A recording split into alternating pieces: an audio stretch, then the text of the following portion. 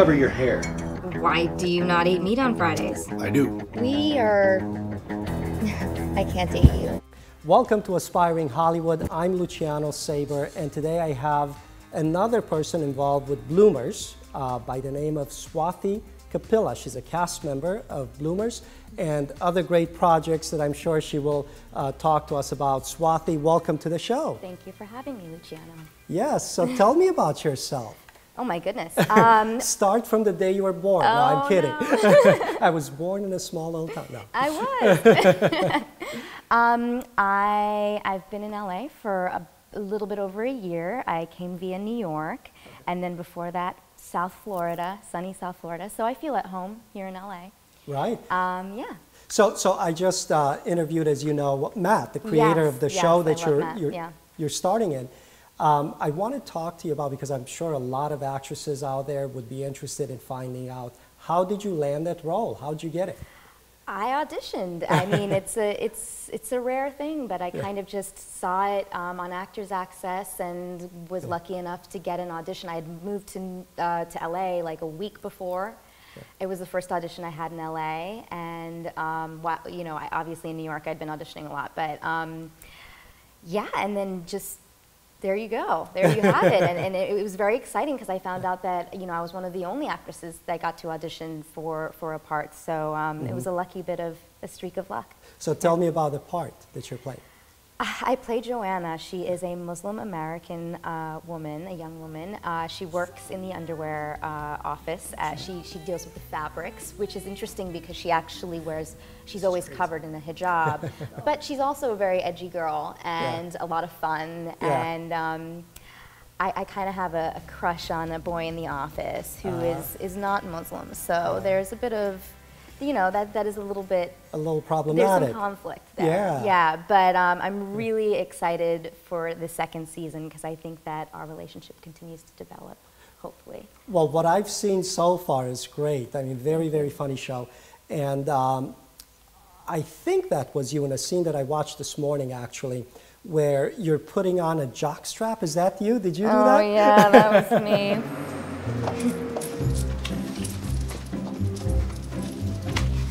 Yeah,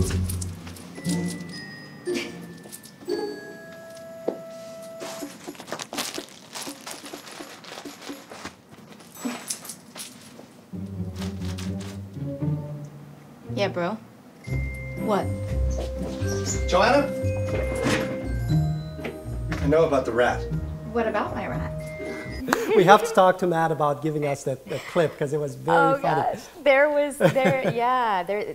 Like I said, Joanna, she is a spunky girl. I mean, just because somebody is traditional in certain aspects of their life doesn't mean that they can't be a lot of fun. Yeah. And um, and I think that Joanna is.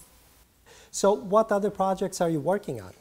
Ah, you know, I feel like acting and and um, well, the whole business is just a matter of kind of shuffling uh, various projects simultaneously. Um, okay, well, uh, I've got an audition this week for an independent feature. I'm I'm writing a horror film um, because those just do so well and I'm finally giving in and, and, and going for it. But I, I I refuse to, to write a horror film unless I had like a very kind of interesting take on it. And I think that me and my writing partner, we do. So um, also writing a feature about um, the interesting uh, competitive subculture of, well, okay, the, the interesting subculture of competitive Bhangra, which is Indian dancing.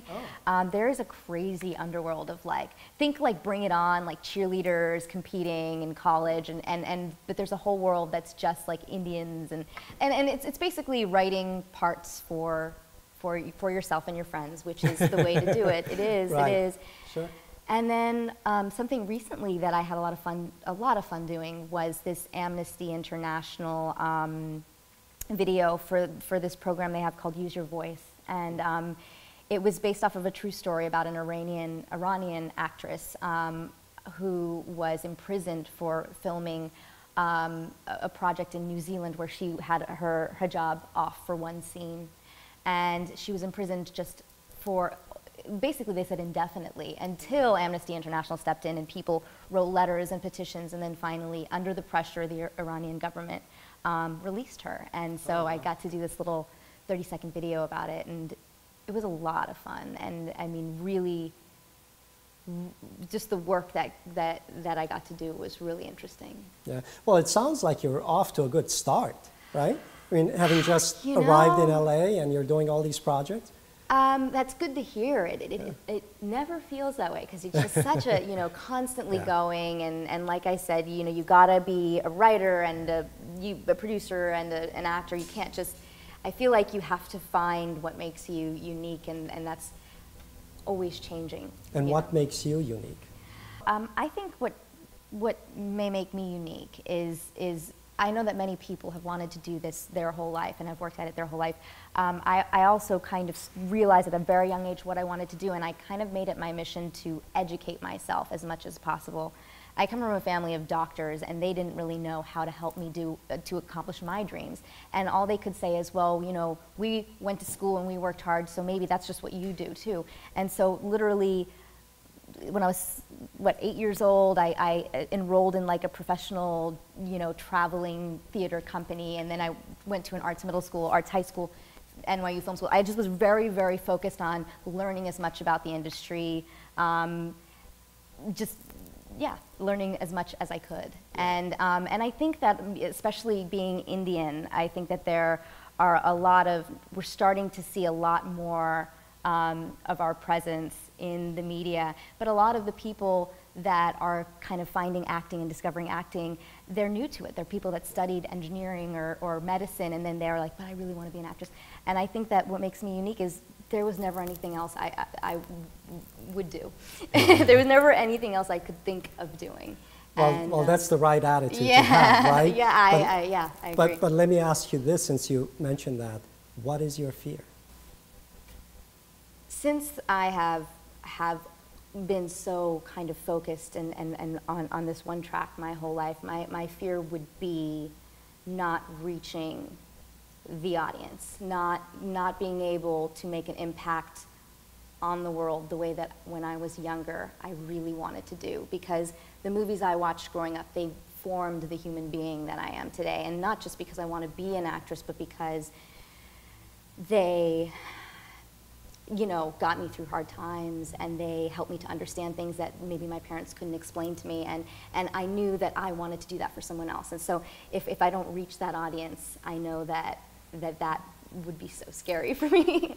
and I can't even imagine it. So Well, moving on to happier. things. Okay. Happier times. I like it. Where do you see yourself five years from now? Um, you know, that is very connected to my fears. I do see myself in five years.